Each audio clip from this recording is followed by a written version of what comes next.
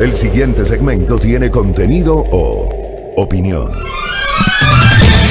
Muy bien, 6 con 29 en la mañana. Ya es viernes, es viernes. No tienen idea de la emoción que tengo de que sea viernes. ya quería que sea viernes. El fin de semana pasado me fui de viaje. De hecho, hace una semana no estuve acá. En, el espacio, aquí me apoyó Silrad y me acolitó el colega Javier Montenegro, porque tenía que viajar vía terrestre. El regreso se me hizo, pero repesado. Y no sé si les pasa a ustedes que cuando tienen, digamos, alguna, alguna actividad fuera de lo normal, de lo común el fin de semana, toda la semana están como agotados. Toda la semana he estado así. Así que ya es viernes, que tengo clases mañana. Pero bueno, ya estamos cerrando la semana. Un abrazo para todos. Gracias por la generosa sintonía. A levantarse, por favor, a levantarse. A levantarse y a poner eh, en su dial Radio Majestad o Majestad Radio y poner también en sus dispositivos electrónicos nuestra estación y nuestra transmisión digital. Me quiero quedar con una frase o con una reflexión que hace una querida colega, periodista y amiga, eh, la Tati Sonnenholzner, a propósito de lo que pasó anoche con Alfredo Campo, ¿no? Nuestro ciclista que estuvo ahí, cerquita, cerquita, al igual que Angie Palacios, Palacios hace pocos días. Estuvieron cerquita del oro olímpico. Ustedes no tienen idea el, lo importante que es para un deportista primero su presencia en Juegos Olímpicos. No es que son becados, no es que les, les dan nomás el pasaje, no es que los seleccionan así nomás, no, no, son parte de un proceso riguroso. Deben clasificar a los Juegos Olímpicos. Ese ya es un logro. La sola presencia de los deportistas en los Juegos Olímpicos ya es un plus para ellos.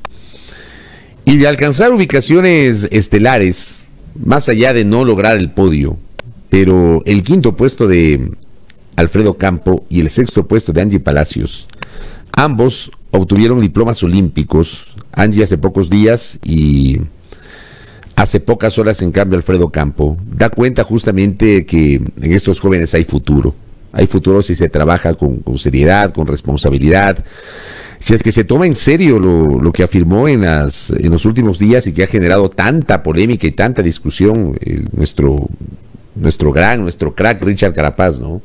La necesidad del apoyo por parte del Estado. Yo creo que hay futuro ahí, con Angie, con Alfredo Campo, con otros deportistas, ¿no? Hay futuro.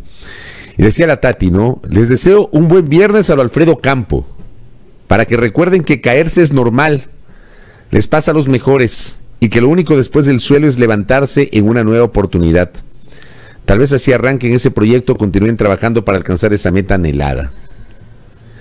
Y automáticamente yo que soy cinéfilo y además me encantan las películas de Batman, sobre todo la trilogía de Nolan. Hay una frase en donde el papá de Bruce Wayne, Thomas Wayne, le dice a su hijo cuando se cae, ¿por qué nos caemos? Para aprender a levantarnos. Es una frase que me encanta, más allá de que, de que sale una película, ¿no? Una película hollywoodense, pero. Pero es o termina siendo un mensaje para todos nosotros. Tanto lo que dice la, la Tati, ¿no? Uno se cae porque caerse es normal. El tema es cómo te levantas y cómo sigues. Hay que meterle ñeque, hay que meterle fe, hay que meterle ganas en medio de la adversidad.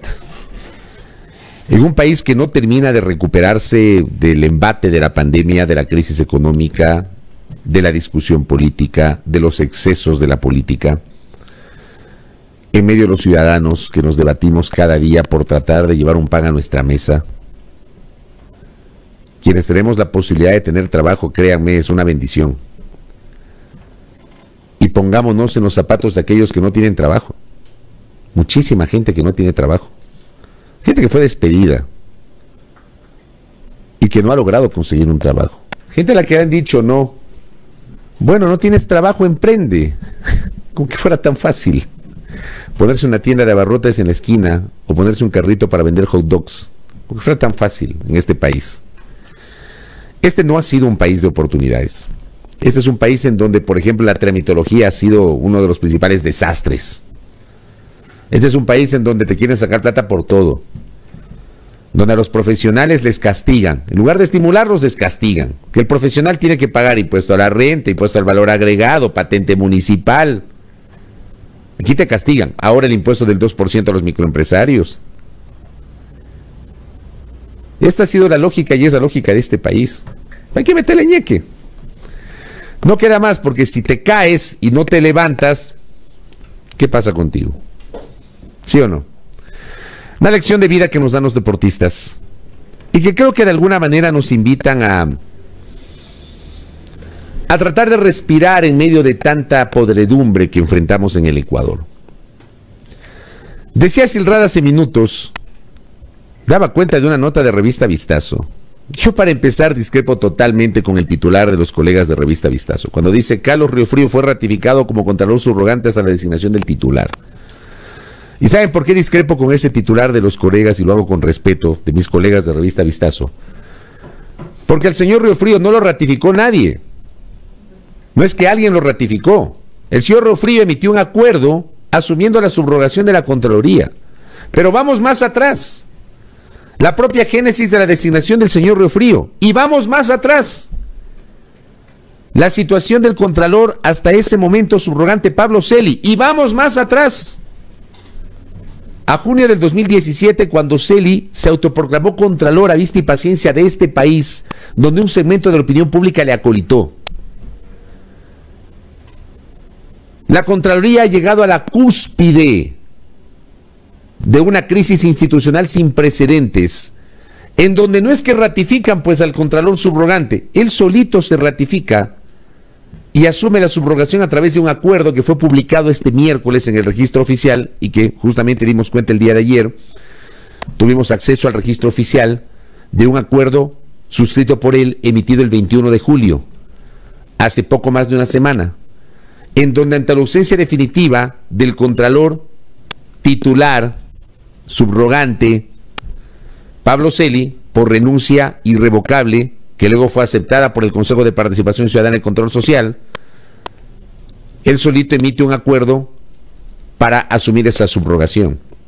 Mi pregunta es, y traslado esta pregunta, tanto a la Contraloría, cuanto, no sé, pues quién puede resolver este problema, el ingeniero Carlos Riofrío González a esta hora es reconocido como el Contralor General del Estado subrogante en estricto rigor jurídico. Pregunto. ¿Lo reconocen? Entiendo que el gobierno lo reconoce, de hecho en la página web de la Contraloría hay una referencia justamente en el sentido de que el gobierno del presidente Lazo reconoce al ingeniero Riofrío. Pero en serio, ¿lo reconocen? ¿Lo reconoce la Asamblea Nacional? que es el ente fiscalizador de la primera autoridad de la Contraloría General del Estado. Lo reconoce el Consejo de Participación Ciudadana y Control Social, que es el ente nominador, el que lleva adelante el concurso de méritos y oposición para designar un Contralor General del Estado. ¿Lo reconocen? ¿Lo reconoce la función de transparencia y control social? ¿Y por qué hago todas estas preguntas? de alguna manera para darle continuidad a mi comentario de ayer sobre el desastre de los últimos cuatro años en la Contraloría General del Estado. Porque si mañana o pasado resulta que este autonombramiento, esta autosubrogación, no es reconocida por las autoridades, ¿qué va a pasar con aquellas decisiones que fruto de esta gestión que no es reconocida se puedan generar? Me explico. Si hoy el ingeniero Carlos Riofrío González ha asumido la subrogación como Contralor General del Estado y la Contraloría, encabezada por él, emite informes de responsabilidad penal y otro tipo de decisiones, ¿no? Desvanecimiento de glosas, ratificación de glosas, establecimiento de glosas, que son las actividades que hace la Contraloría General del Estado. Ojo con lo que les explicaba ayer. La Contraloría tiene la posibilidad de desvanecer glosas en derecho no a través de una supuesta red de corrupción, ¿ah? ojo. Yo decía el otro día que Celi tiene, tenía toda la razón al decir que no es ilegal el desvanecimiento de glosas. No, eso no es ilegal. Lo ilegal, lo antiético y lo corrupto es cobrar por ese desvanecimiento de glosas. O mantener las glosas porque no le pagaron un billete, que es lo que está siendo investigado ahora mismo por la Fiscalía General del Estado. Eso es lo ilegal, eso es lo antiético, eso es lo inmoral, eso es lo corrupto pero no el desvanecimiento de glosas per se. Pero yo digo, esta Contraloría, por, por eso quiero que tomen en cuenta lo que estoy señalando. Si esta Contraloría es legal o ilegal, la actual, si la actual cabeza de la institución en derecho ha asumido o no su condición de contralor subrogante. ¿Qué va a pasar más tarde o más temprano? Con los procesos judiciales que se puedan generar, o procesos civiles, o procesos administrativos, fruto de las decisiones de esta Contraloría General del Estado, suscritas por quien se autonombró como Contralor. El punto es ese.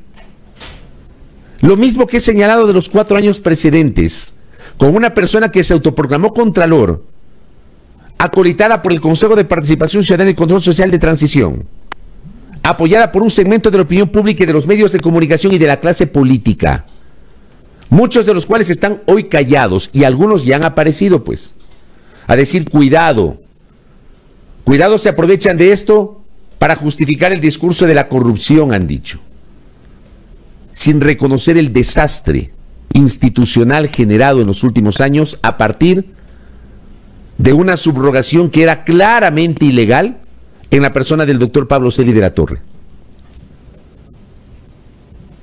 Cuidado, cometen el mismo error en este momento. En el caso del ingeniero Carlos Rufrío González, a quien no lo conozco, y no es una crítica personal a él. Simplemente planteo estas dudas. Yo quiero saber si el resto de instituciones, yo quiero saber si la Administración de Justicia reconoce al ingeniero Carlos Riofrío González como Contralor General del Estado subrogante. Yo quiero saber eso. Y creo que el país merece saber eso. Porque de esto va a depender la seriedad o no de las futuras decisiones que adopte la Contraloría General del Estado y de las derivaciones que puedan ocurrir y que puedan emanar de las cosas que investigue este organismo, que es el encargado de auditar. Ese, es el concepto, pero lo voy a poner entre comillas, porque en este país no ha ocurrido eso. En el concepto, la Contraloría tiene que auditar el buen manejo de los recursos públicos. Y ha terminado siendo impresentable cuando se ha denunciado que en los últimos tiempos no es exclusivo de los cuatro años precedentes, por cierto, se había generado toda una estructura mafiosa interna de la Contraloría General del Estado, que tiene que ser investigada.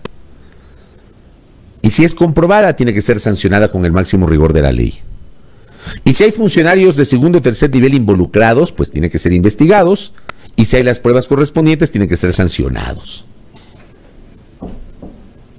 Yo me temo, como dice don Renato García Cedeño, Debe ser manavita, don Renato, me imagino por los apellidos. Va a pasar lo mismo, dice. Yo me temo eso. Va a pasar lo mismo. Va a pasar lo mismo. Por la carencia de institucionalidad seria en este país. Va a pasar lo mismo. Entonces, qué complejo, ¿no? Y claro, acá también nos hacen algunas preguntas. Si se trata de reconocerlo, entonces Celi era legítimo. Bueno, o sea, Celi fue, entre comillas, el contralor legítimo cuatro años. Que ahora le han bajado el pulgar y que ahora nadie quiere. O sea, ahora, ahora, ahora ya nadie le para bola. Ahora todo el mundo está allí, cayéndole a Celi, porque ya no tiene poder. ¿Ya? Complejo, ¿no? Eso en el tema de la Contraloría. Yo les dejo ahí. Les dejo ahí y hago públicamente, planteo públicamente esas inquietudes a ver si alguien nos, alguien nos responde. O como dice mi pana Nahuel Mendoza, casi casi que lo del ingeniero Carlos Riofrío González es al más puro estilo de Juan Guaidó, autoproclamado presidente de Venezuela, que no gobierna en Miraflores. Es el palacio presidencial en Caracas. Acá tenemos una autoridad que se autoproclamó Contralor, pero yo, yo, parto del origen de su designación. Designado inicialmente como su Contralor, con el Contralor eh, eh, Celi en ese momento firmando el documento desde la cárcel. Entiendo que salió eh, escribiendo en manuscrito. Hay un documento, o un desastre, vean, un desastre. Por eso yo sostengo que, de verdad, estas cosas hacen que yo ratifique lo que vengo diciendo hace tiempo. Este país institucionalmente es un chiste. Es un chiste. Bueno, y si es un chiste lo de la Contraloría, ¿Qué decimos de la Defensoría del Pueblo, querida audiencia? Porque más adelante vamos a entrevistar a la abogada Tania Castillo, quien fue nombrada por el defensor del pueblo titular, porque les guste o no les guste, el doctor Freddy Carrión sigue siendo defensor del pueblo titular. No ha perdido su condición de tal. ¿Por qué no ha perdido? Porque tiene, está detenido, pero no tiene sentencia penal condenatoria ejecutoriada. Porque además entiendo que ha cedido algunos recursos administrativos que le permiten justificar su ausencia temporal del despacho, porque no ha sido censurado y destituido por la Asamblea Nacional. El doctor Freddy Carrión sigue siendo defensor del pueblo titular.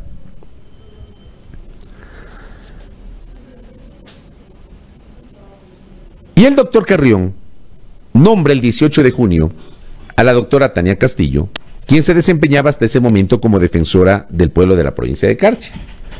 La nombra como su subrogante, como la vicedefensora. Luego de cesar a la doctora eh, Zaira Rovira. La doctora Rovira estuvo ayer con nosotros. Entonces la pregunta era, y le pregunté ayer, ¿usted sigue siendo la defensora subrogante? Me dice, sí. Anoche le entrevisté a la doctora Tania Castillo, que estará ya mismo con nosotros aquí en la primera hora, le entrevisté para RTU. Le pregunté, ¿usted es la defensora subrogante? Me dice, yo soy. Entonces tenemos dos distinguidas juristas, dos distinguidas damas, que dicen que son las defensoras subrogantes del pueblo. ¿Quién es? ¿Y quién le pone solución a este tema? Porque por un lado tenemos a la doctora Rovira, que después del 18 de junio, cuando Carrión emite esa resolución cesándola como vicedefensora, y nombrando a Tania Castillo, resulta que par de días después, la doctora Rovira va a la fiscalía y presenta una denuncia en contra de Carrión por el posible delito de ingreso irregular de artefactos tecnológicos a un centro de privación de libertad. No sé qué ha pasado con esa investigación, si es que le inició la fiscalía. Y ella siguió despachando en la Defensoría del Pueblo. Pero luego tenemos la resolución reciente del Consejo de Participación Ciudadana y Control Social que dicen, hey, momentito, el doctor Freddy Carrión sigue siendo defensor del pueblo titular porque hay que preservar la presunción de inocencia. Entonces, si sigue siendo defensor del pueblo titular, querría decir que sus resoluciones o sus decisiones o lo que él emita está pegado a la ley, eh, al menos es lo que se interpreta. Después, en esa misma resolución, el Consejo de Participación Ciudadana dice que la Fiscalía tiene que procesar la denuncia que había sido presentada por la abogada Tania Castillo en contra de la abogada Zaida Rovira por supuesta usurpación de funciones o arrogación de funciones. ¿Quién mismo es la defensora del pueblo subrogante? Pero ¿saben qué? Más allá de esa inquietud, más allá de esa inquietud, en el medio está la institución, pues. Y resulta clamoroso, patético, que la institución que debe ser encargada de resguardar los derechos humanos de los ecuatorianos esté inmersa en una polémica porque dos damas se están disputando quién mismo es la que conduce los destinos de esa institución. Y aquí no hay quien ponga orden. O sea, explíquenme eso.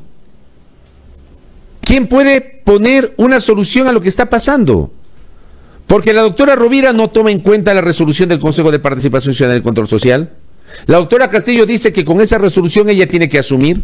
La doctora Castillo le ha pedido a la ministra de Gobierno resguardo policial para poder entrar. La ministra de Gobierno no le ha respondido hasta anoche, no le había respondido al pedido para que puedan dotarle de seguridad policial y pueda ingresar al despacho. La doctora Rovira el día de hoy, me dijo ayer que le entrevistamos, que el día de hoy iba a estar haciendo agenda fuera de Quito y que ella sigue despachando. A la doctora Castillo le han quitado hasta el Kipux. No tiene correo electrónico institucional no tiene acción de personal, casi casi que está fuera de la institución, según la doctora Rovira. Entonces, ¿quién mismo conduce la Defensoría del Pueblo? Y pregunto, si mañana pasado hay algún problema sobre el cual se precisa el pronunciamiento de la Defensoría del Pueblo, por ejemplo, ¿quién suscribe estas decisiones? ¿La doctora Rovira o la doctora Castillo? Les voy a poner otro ejemplo. La Defensoría del Pueblo presentó a la Asamblea Nacional conforme la sentencia de la Corte Constitucional emitida hace más de dos meses. Un proyecto de reformas para poder viabilizar la instrumentación en la práctica de la interrupción del embarazo fruto de la violación. ¿Se acuerdan? La Corte tomó una decisión, la despenalización del aborto por violación, y le ordenó a la Defensoría del Pueblo preparar un proyecto de ley en el plazo de dos meses. La preparación del proyecto lo comenzó el doctor Carrión. Pasó lo que pasó el 16 de mayo y desde el 17 de mayo el doctor Carrión está detenido. El proyecto fue presentado por la doctora Rovira a la Asamblea Nacional hace pocos días y estamos aquí con esta disputa sobre quién es la cabeza de la Defensoría del Pueblo. Cuando la Asamblea Nacional comienza a tramitar este proyecto, ¿quién va a sustentar el proyecto en la Asamblea? ¿La doctora Rovira o la doctora Castillo? Por otro lado, ¿a quién va a invitar la Asamblea Nacional para sustentar? ¿A la doctora Rovira o a la doctora Castillo? ¿Se dan cuenta?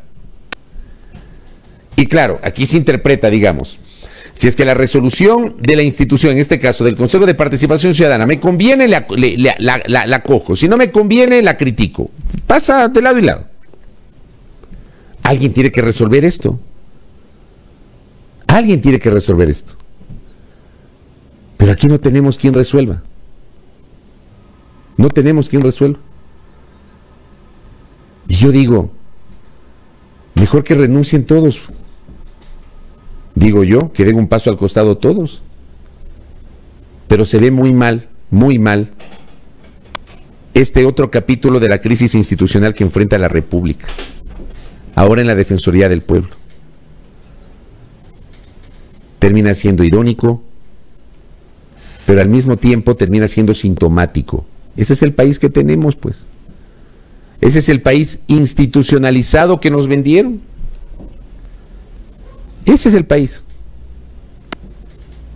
En donde no sabemos en quién confiar, en donde las instituciones que están llamadas a preservar los intereses de los ecuatorianos resulta que están en medio de un desastre institucional. La Contraloría, por un lado, que es la llamada a auditar el buen manejo de los recursos públicos, metida en una investigación por posible corrupción asociada a una red mafiosa que se habría configurado en torno justamente al desvanecimiento de glosas y por otro lado la Defensoría del Pueblo, que no está vinculado, o sea, separo las cosas. No es lo mismo en el fondo, pero sí en la forma. Porque acá tú tienes a Contraloría que está siendo investigada por un tema de corrupción y que está sumida en esa crisis justamente por eso. Pero tienes al otro organismo, que es la Defensoría del Pueblo, que es el encargado de resguardar, de preservar, de proteger los derechos humanos de los ecuatorianos, en donde se sacan los ojos. Yo creo que los ecuatorianos no nos merecemos esto. ¿Ah? ¿Sí o no? No nos merecemos esto. Los ecuatorianos nos merecemos mejores instituciones. Los ecuatorianos nos merecemos mejores autoridades. yo sí creo eso, yo no voy a caer en el cliché. Que los ecuatorianos tenemos lo que nos merecemos. No, no, yo no creo que nos merecemos esto. No creo que nos merecemos esto. Creo que merecemos mejores autoridades, mejores funcionarios, que sí los hay. Hay ecuatorianos que sí tienen sentido de país. Hay servidores públicos que sí son honestos, muchísimos, la mayoría. Pero lamentablemente por esos pocos resulta que aquí hay un sector del país que denosta el sector público. ¿Qué me ha enviado mi querida Silrad? A ver, eh, la cuenta Twitter de Teleamazonas acaba de tuitear. Allanamiento en la Fiscalía del Guayas, edificio Merced. Bueno, ¿quieren otro elemento para este caos institucional? ¿Quieren otro? Les doy. Ya. Contraloría, Defensoría del Pueblo. Vamos a la Fiscalía. Otro. Hace tres minutos la cuenta Twitter de Teleamazonas publica. Allanamiento en la Fiscalía del Guayas, edificio Merced, centro de Guayaquil. Se busca indicios en un proceso de tráfico de influencias en el que estaría involucrada una funcionaria de la institución. Su casa también fue allanada y está detenida. ¿Qué tal? En la fiscalía. Les hablaba, la Contraloría investigada por un presunto caso de corrupción, el ente encargado de auditar el buen manejo de los recursos públicos. ¿Ah? La Defensoría del Pueblo en medio de una disputa sobre quién mismo debe asumir el cargo. La institución encargada de resguardar los derechos humanos de los ecuatorianos. La Fiscalía General del Estado, que es el ente que tiene que encargarse de las investigaciones, de la lucha contra el delito, de la lucha contra la corrupción. Tenemos este allanamiento en Guayas. Les repito la información, la noticia. Cito la fuente, Teleamazonas. Allanamiento en la Fiscalía del Guayas, edificio Merced, centro de Guayaquil. Se busca indicios en un proceso de tráfico de influencias en el que estaría involucrada una funcionaria de la institución. Su casa también fue allanada y está detenida. ¡Qué vergüenza! Y les voy a dar otro ejemplo más. Porque le entrevisté hace dos días a la presidenta del Consejo de la Judicatura, a la doctora María del Carmen Maldonado que claro, nos hizo una explicación sobre un juez de la provincia del Oro, del cantón Arenillas, sancionado por... Increíble, ¿no? El hombre siendo juez, también ha sabido ejercer la profesión de abogado. ¿Qué tal? Siendo juez, estando impedido de eso. Porque los jueces no pueden ejercer eh, o, no, pueden eh, trabajar en el libre ejercicio. Cuando un abogado llega a ser juez, no puede ejercer la profesión. Tiene que dedicarse a impartir justicia. tenemos un juez que se ha dedicado, aparte de ser juez, a tener clientes pues para representarlos. Yo no entiendo eso. Me río para no llorar. ¡Qué vergüenza! ¿Se dan cuenta? ¿Se dan cuenta? Ahí es cuando uno dice, vean, váyanse. Váyanse. Den un paso al costado. Este país ahora mismo está dormido. Algún rato va a despertar este país. Algún rato va a despertar. Este país hoy está dormido porque tenemos otras preocupaciones. Nuestra principal preocupación es llevar un sustento a nuestros hogares, buscar empleo, protegernos de la delincuencia, uno anda por la calle y uno tiene que estar mirando a todos los lados. Uno ya no, ya no está tranquilo. Uno no está tranquilo. ¿Quieren que este país se caiga a pedazos? Pregunto. ¿Quieren que sea así? Les he mencionado cuatro ejemplos en este momento. ¿Ah? Pero suscriba a mi pana Néstor Aguilera. ¿Hay esperanza? Sí, siempre hay esperanza. Hay esperanza. Hay esperanza porque hay ecuatorianos de bien. Hay esperanza porque hay funcionarios de bien. No tengo dudas de eso. Hay esperanza porque hay servidores públicos de bien. Hay esperanza porque hay empresarios de bien. Porque no todos los empresarios son iguales. Hay empresarios que trabajan con sentido de país, con sentido de patria. No todos, pero los hay. Los hay. A ese Ecuador hay que apostarle. A nuestros deportistas, que dije al inicio del comentario. A jóvenes como Alfredo Campo, como Angie Palacios, como Richard Carapaz. De alguna manera nos permiten salir de este ahogo. No sé si les pasa a ustedes. Una vez se siente ahogado. Yo me siento así. Yo me siento así. Estoy seguro que muchos de ustedes también, ahogados con tanta disputa política, con tanta corrupción, con tantas acusaciones, con tanto odio. A mí me ahoga el odio. Y yo decía el otro día en Twitter, lamentablemente el odio no pasó de moda. A veces yo mismo en el chat, donde ustedes interactúan, resulta que yo me encuentro con unas, con unas cosas que se dicen entre ustedes, que dan cuenta de que el odio no pasó de moda. Y yo les invito a hacer un mea culpa y una reflexión sobre eso. El odio no pasó de moda. El odio está ahí. Nos odiamos. Nos odiamos. Y si no pensamos, eso pasa, ¿no? Hablo en plural. Si, el que está al, lado nuestro no piensa como nosotros, le caemos. Cuando debemos generar un debate un poco más serio, un poco más rico sobre lo que está pasando. Yo insisto, este país hoy está dormido. Algún rato va a despertar Y cuando despierte este país vamos a ver dónde se meten estos políticos que nos han metido en todo este caos institucional que estamos enfrentando. Yo recibo un mensaje en este momento a propósito del tema de la Defensoría del Pueblo. Le envío un saludo a, la persona que es una amiga muy querida que, me escribió. Es realmente penoso ver cómo la institución Defensoría del Pueblo se cae a pedazos. Ambas partes deberían irse a sus casas como mínimo mostrando solidaridad con el, con el país. Pues eso digo. O sea, si no pueden, váyanse. Váyanse. Analícenlo y váyanse, si no pueden. Igual en el tema de la Contraloría General del Estado. Y acá también, gracias este mensaje, con Tertulio. Celi todavía, lo que, lo que hace minutos, ¿no?